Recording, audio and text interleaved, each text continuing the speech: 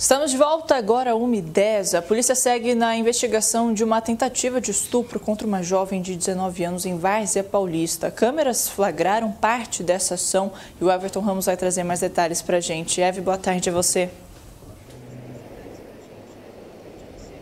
Oi, Ju, boa tarde para você, para todo mundo que está acompanhando o Acontece. A gente tem uma imagem aí que mostra né, o exato momento em que esse homem agarra essa jovem no meio da rua.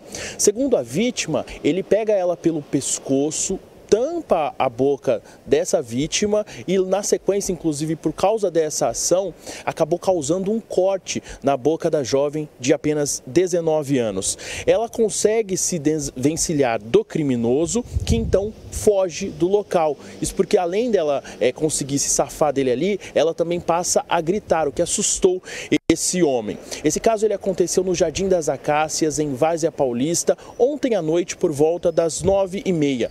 A vítima ela disse que caminhava em direção ao estabelecimento comercial que pertence ao pai dela, uma adega, no momento em que foi abordada então por esse homem.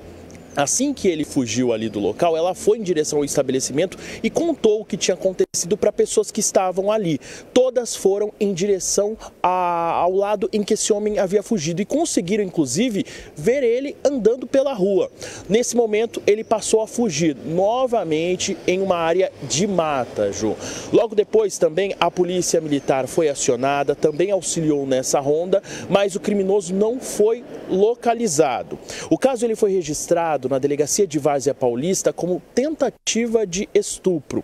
Hoje, a Polícia Civil faz buscas, teve acesso a novas informações e trabalha então para localizar e prender esse homem que a gente vê aí nas imagens dessa tentativa de estupro em Várzea Paulista. Ju.